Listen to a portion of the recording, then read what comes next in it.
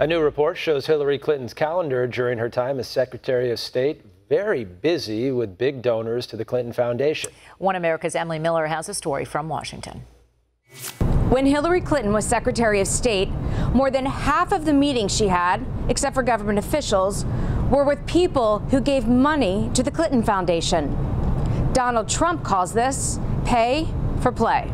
Hillary Clinton ran the State Department like a failed leader in a third world country. The investigation by the Associated Press, known as AP, showed that Clinton met with 154 people, uh, aside from government officials, while uh, Secretary of State. 85 of them gave money to the Clinton Foundation. That's 55% of her time spent with big donors. The AP reporter explained the details. And about 40 of that number gave more than $100,000 each. Uh, about 20 of that number gave more than a million dollars each.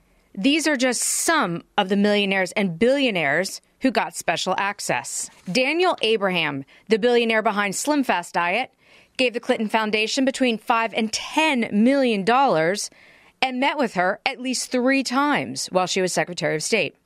Haim Saban, an entertainment mogul, gave 10 to 25 million dollars to the foundation and met with Secretary of Clinton privately and hosted her twice at his events.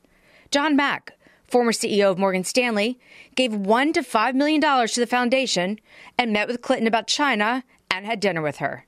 Wait till you see ultimately what she did for all of those people.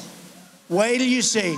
These are not people that go in, as I said, and talk about how are you feeling. If Hillary Clinton gets the White House, what is she going to do about the conflict of interest with the 6,000 donors out there who have given the Clinton Foundation $2 billion. Voters need to know what ethics rules Hillary Clinton would put in place if elected. Under all this pressure, Bill Clinton said on Monday that if Hillary is elected president, he will resign from the foundation and stop raising money. But on Tuesday, the foundation said that Chelsea Clinton will remain on the board of the foundation and refused to say whether she will stop asking for money from big donors. Emily Miller, One America News, Washington.